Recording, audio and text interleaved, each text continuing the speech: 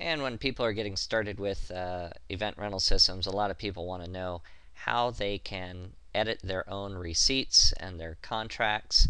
Uh, we have hidden this a little bit just so people don't mess with it too much. It's under advanced options and editable content.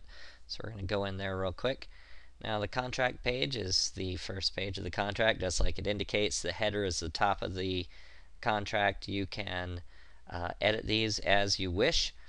The quote header is just the top of the receipt when the customer sent a quote. And um, development log, yeah, we're, we're not currently using that, but uh, you can also edit your page footer. And top and bottom, these aren't really labeled yet. This is really your receipt top and bottom.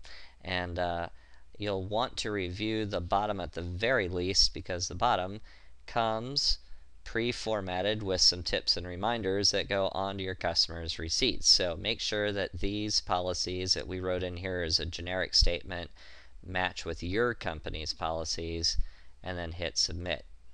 Uh, so that takes care of that. Um, confirmation message, alternate payment, and um, message for deposit. Uh, you might want to take a quick peek at those as well just to make sure that uh, it agrees with what you want the system to be telling your customers when they're done making a payment. And that's it for editable content.